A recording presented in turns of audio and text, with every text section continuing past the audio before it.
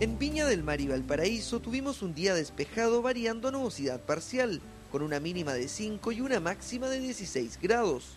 Para este miércoles se espera un día nublado, ocasionalmente nubosidad parcial, con una mínima de 9 grados y una máxima de 14. Quilpué y Villa Alemana tuvieron un día despejado variando nubosidad parcial, con una mínima de 2 y una máxima de 18 grados.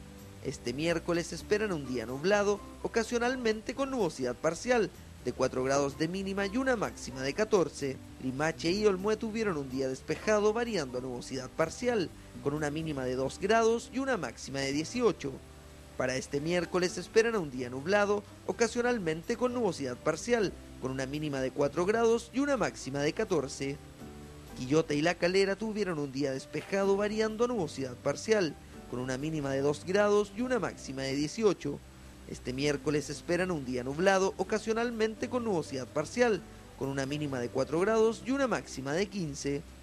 San Felipe y los Andes tuvieron un día despejado variando a nubosidad parcial, con una mínima de 0 grado y una máxima de 21. Para este miércoles esperan un día nublado, ocasionalmente con nubosidad parcial, con una mínima de 1 grado y una máxima de 17. En Santiago tuvieron un día despejado y neblina variando a nubosidad parcial, con una mínima de 1 grado y una máxima de 19.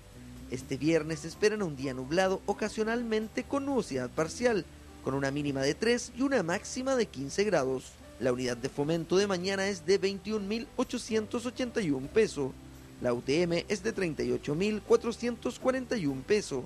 El dólar 462 pesos.